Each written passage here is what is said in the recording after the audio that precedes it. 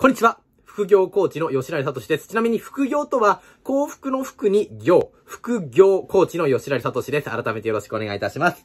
さて今日お伝えするテーマは、あなたの名前を今一度、しっかりと認識していただいて、はい、自分の名前、自分の名前の価値を知る、そして自分の名前に感謝するという時間をとっていただきたいと思います。これなんでこの動画を出させていただこうと思ったのかというところなんですが、僕ストア化というところで、えー、オンラインの講師をやらせていただいております。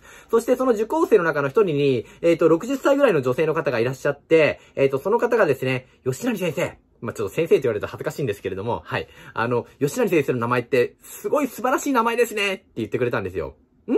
と思って、こう、吉成の吉、あの、基地、基地、まあなんかこう、大吉とか中吉とか基地って、あの、非常に縁起がいい、良さそうな言葉じゃないですか。この基地、そして吉成のなりってなる。まあ、えっ、ー、と、まあ、なるんですよ。成長のせいとか、それになるってことですよね。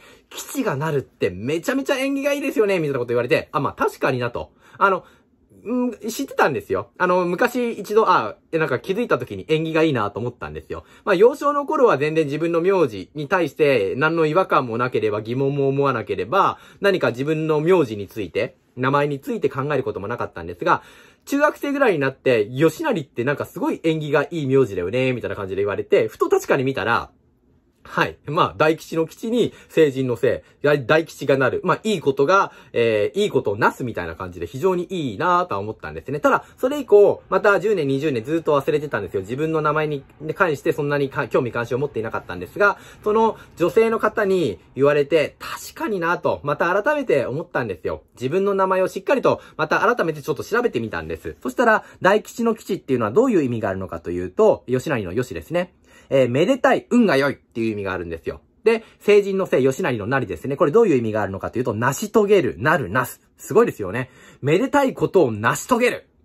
素晴らしいなと思うんですよ、我ながら。はい。そして、えー、サトシという字は、よく悟る賢い悟い。もうこれもう最高の名前の一つに挙げられますよね。もちろん、これ以上の名前も一度考えられますけど、すごい、めでたいことを成し遂げる賢い人間。もうこれ僕の理想じゃないですか。その理想に向かってやっぱりそのような素晴らしい名字の家系に生まれ、そして素晴らしい名前を付けてくださった親に、あの、感謝し、あの、行きたいと思うんですよね。なのでぜひ、このタイミングでこの動画を見たあなたも、あなたの名字について今一度考えていただいて、自分の名前に感謝する。っていうことをやっていただきたいなと思います。今回の動画についてはここまででございます。えー、この動画では、えー、人生を楽しく生きていくためのヒントとなるようなまあ、内容を配信していきますので、よろしければチャンネル登録お願いいたします。また、他の動画でお会いできること楽しみにしております。本日も最後までご覧いただきありがとうございました。